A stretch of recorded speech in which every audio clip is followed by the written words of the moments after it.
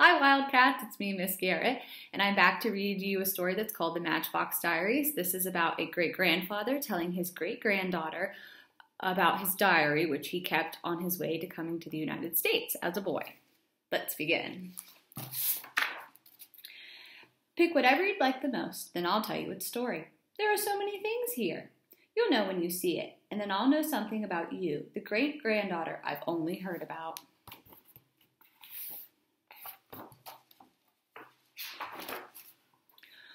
So, you like boxes just like me? You smoke cigars? No, me either. There's no cigars in it anyway. What's inside? Not just one story, but lots. What's in the little boxes? My diary. What's a diary? A way to remember what happens to you. Usually it's a book people write in. When I was your age, I had a lot I wanted to remember, but I couldn't read or write, so I started this. Open the first one.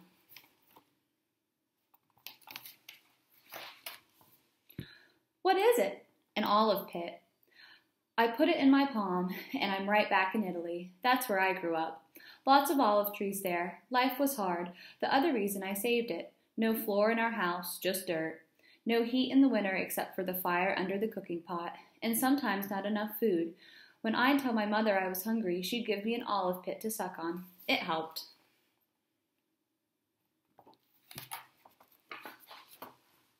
Who is this? My father.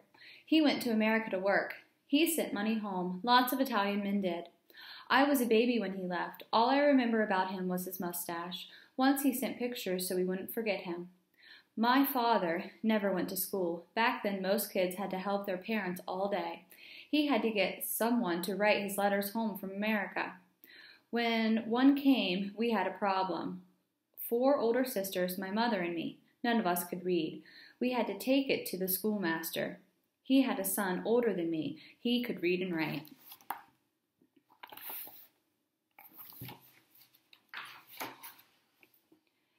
Every day, the boy wrote down what happened in a diary. Every year, he got a new one, red leather, with a silk bookmarker. I had no idea how to write, but I was wild about having my own diary. I want one too. That's my girl.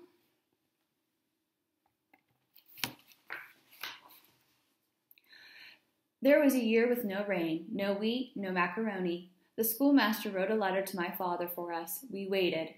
A long time later, a letter came back with tickets to sail to America. When we left, my grandmother cried in the road, You'll eat the food there and forget your home over and over.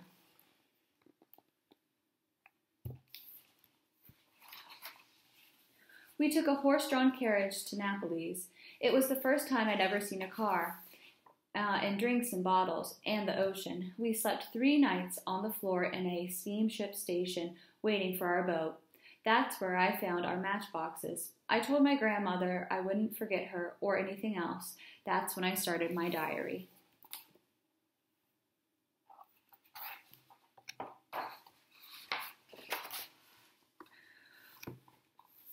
Our ship left. We were on the bottom where the motion was the worst. People seasick moaning. My sister took me up on the deck.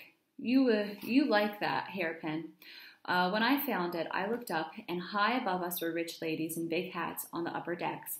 People said that there was gold lying around the ground in America. I thought my mother and sister would look like those women soon.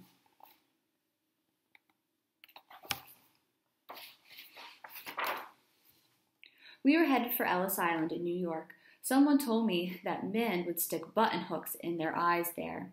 What's a button hook? A metal tool for closing up shoes before there were laces. I had nightmares about the button hook men. Then we had bigger problems. A storm hit us. Maybe a hurricane. The boat bucked like a horse. I saw a bunch of sailors praying together. Not good. St. Christopher is supposed to protect travelers. People threw medallions of him in the ocean, begging him to spare us. After three days, the waters calmed.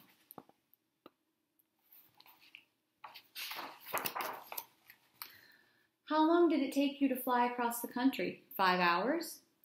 That trip from Italy took 19 days. I know because I put sunflower seed shells in a box every morning. Then everyone was calling, La Statua della Libertà. I ran up to the deck. There was New York. A boat came up to ours selling food. Our neighbor on the ship bought bananas and gave my family one. I bit into it and spat it out. I didn't know you were supposed to peel it.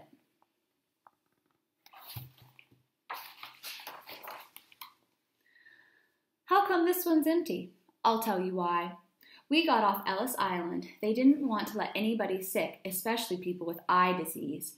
All morning I'd been crying because of the button hookman. When I saw him, I screamed, and he grabbed me and used the handle to roll up my eyelid and look underneath. Red, he said. He can't come in. My mother fainted. My older sister found a doctor who spoke Italian and told him that my eyes were red from crying. She gave me a peppermint candy to calm me down. Later, a new doctor checked me using his fingers. Uh, that one let me pass, but the candy, I put the candy in my box. Then the next week, I ate it.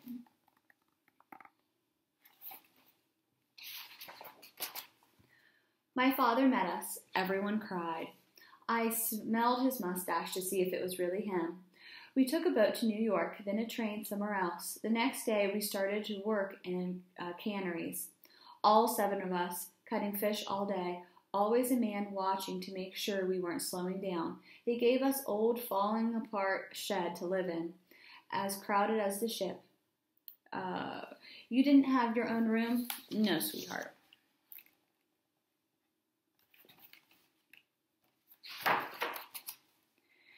Canning fish, sorting peaches, selling peas. Then down to the south, peeling shrimp and opening oyster shells. Wherever there was work, we moved so often I could barely remember where I was or where I'd been. That's why I started saving bits of newspapers so that someday I could look back and say that I was in the exact place on that exact day. I still love newspapers.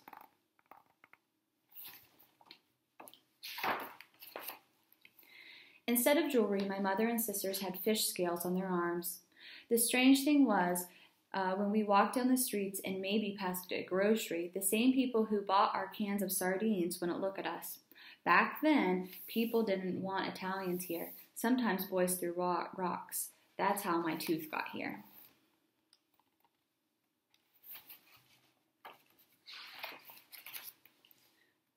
This is my favorite box my first baseball game. I didn't understand it, why the men were running, but it was heaven not to be working and to sit with my father. Under the grandstands, I found more matchboxes. Then, in a clump of grass, a quarter. It meant that we could go again. To me, it seemed like one lump of gold people said we wouldn't find, or we would find.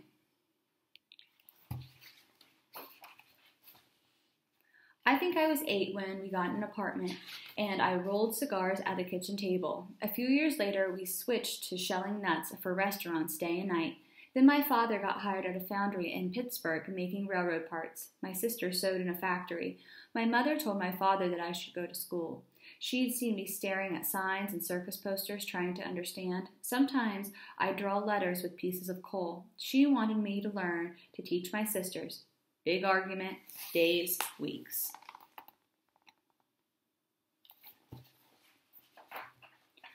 Who won the argument? I'll give you a hint. I went to school. It was hard. English seemed as crazy as baseball. I had to sit with little kids. They made fun of how I talked, but I learned to read and write. What they taught us during the day, I taught my sisters at night. Then I went to a different school where I learned typesetting. Uh, picking out the letters, the lead letters from compartments. That's how everything was printed before computers. I had good eyes from always looking for little things for my matchboxes. I became a printer.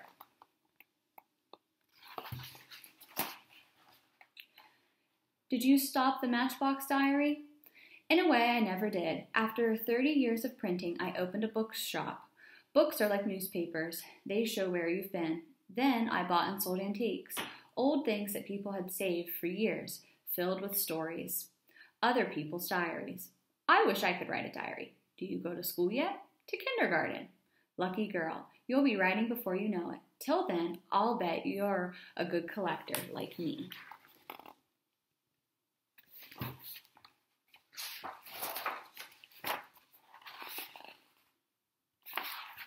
I hope you guys enjoyed it. I miss you a lot, and I hope to see you soon. Have a good day.